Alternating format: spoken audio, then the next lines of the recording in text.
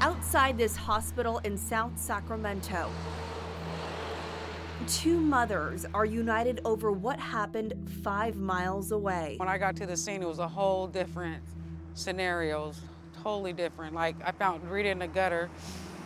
Her friend's just unconscious laying, you know, halfway in the gutter and in the street. And I'm trying to gather up their items just to keep it. They're like, no, ma'am, this is a crime scene. So that's when it really hit me. I didn't really understand what was going on. It happened right next to her house on John Still Drive. Her daughter, Rita Muhammad, was walking home with her friend after basketball practice when they were hit by a car.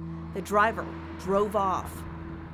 Rita's just, she barely can even move. She barely can even, she was in so much pain. And then looking at her friend, she was in shock. Her daughter and her friend, Lavanya Ellison, are still in the hospital. Every day I keep thinking she's coming home, but she's she's not eating. She's having problems with her stomach, but um, everything else is looking, you know, okay. They're not releasing her yet. She says her daughter is getting better and hopes she can come home this weekend.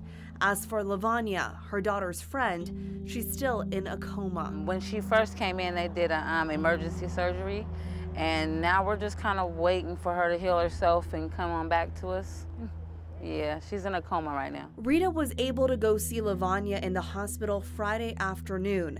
She had no idea what her condition was until she saw her. Yeah, that was absolutely too much for her to handle. Both moms have stayed at the hospital keeping their daughters company. However, their minds are still at who could have done this. Just have a heart and come forward and turn yourself in. That was the best thing to do.